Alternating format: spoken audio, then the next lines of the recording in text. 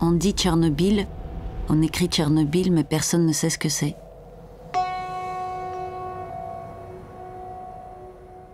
Je ne sais pas de quoi parler. De la mort ou de l'amour. Personne ne parlait de radiation.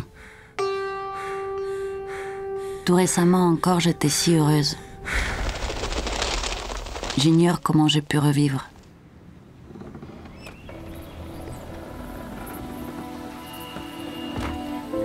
Je l'ai voulu.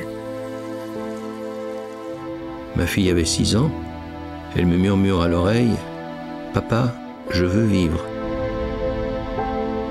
Ça n'a pas de sens. C'est pourquoi il ne faut pas écrire, mais prendre des notes. Ce qui m'a rendu à la vie, notre fils. Il est malade depuis longtemps.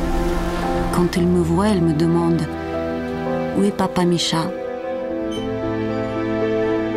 Il l'attend. Alors nous l'attendrons ensemble. Je réciterai ma supplication pour Tchernobyl. Et lui, il regardera le monde avec des yeux d'enfant.